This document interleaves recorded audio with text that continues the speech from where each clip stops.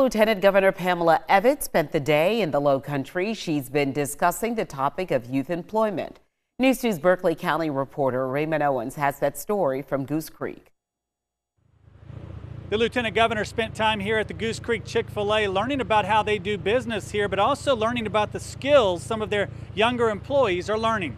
This mobile through lane has really increased our capacity um, to serve more guests um, and, and, really utilize our team members to have that hospitable Chick-fil-A experience at the window as well. And you do. You guys do a great job helping like set up the workforce of tomorrow yeah. just with those soft skills. Yeah. Soft skills that employees I talk to say they're learning here on a daily basis. So discipline, that's one of the big things for me. So um, being a full-time student, I have to discipline myself, um, doing schoolwork and then coming to work and then being able to serve those guests. So just being able to step back no matter how busy, no matter how stressed I am, knowing that I have a great team to rely on and support me in any way that I can is really reassuring. I've learned lots of communication skills as well as community skills. Um, we see people from all walks of life here at Chick-fil-A. Um, um, so many people come through the drive-through.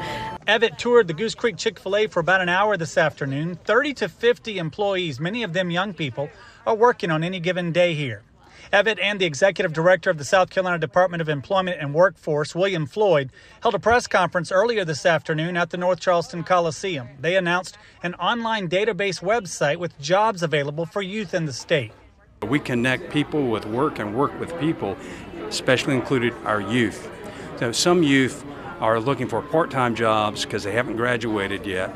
There's a great opportunity to do that through uh, the Lieutenant Governor's website that she's initiated. Teenagers can search for jobs based on their zip code and find out about opportunities available for them. How do we help, first of all, small businesses by getting kids working? Getting a message to parents. Parents, we need you to get your kids off the couch if you kick them out of the house to get them a job, you know, when they're young, that is something that'll be a runway of success for them forever. And it's not a bad thing. We have that new jobs website linked at our website. Just log on to counton2.com. In Goose Creek, I'm Raymond Owens. Count on two.